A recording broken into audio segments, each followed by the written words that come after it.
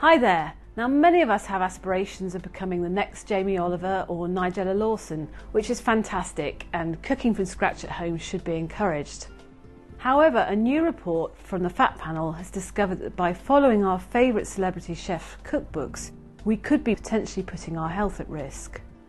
Many celebrity chefs' recipes contain more than 100% of the guideline daily amount of saturated fat in a single serving. That's 30 grams for men and 20 grams for women. Whilst this would be acceptable if they were consumed occasionally or as a treat, few people realise the potential health risks of eating these meals often.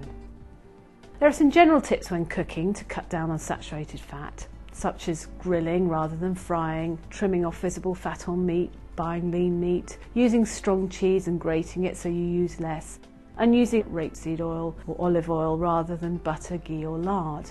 And with people being rightly encouraged to cook from scratch at home, it's important to understand how you can still have these recipes, but easily and simply adapt them to make them more healthy.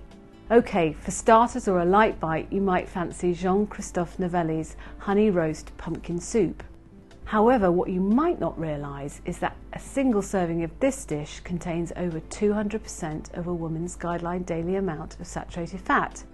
Fine as a one off, but if you want to eat it regularly, you need to look at ways of reducing the saturated fat by simply replacing the double cream with half fat creme fraiche, halving the recommended amount of red Leicester cheese, and using a handful of ground almonds you'll be able to make an 80% reduction in the saturated fat content of the dish. Lasagna is a British favourite and something we all enjoy, and a dish that many celebrity chefs have included in their books. For instance, with Hugh Fearnley Whittingstall's recipe, he uses lean mince, which is fantastic, but he uses butter and whole milk. You're looking at just over 100% of a woman's guideline daily amount of saturated fat with a dish containing 20 grams of fat per serving. Now, if you replace the butter with a vegetable oil spread and you replace the whole milk with semi skimmed or 1% milk, then you can reduce the saturated fat level of one portion of this dish from 20.5 grams to 12.4 grams. Okay, you've had your main course, now it's time for something sweet. Sticky Toffee and Chocolate Pudding by Gordon Ramsay.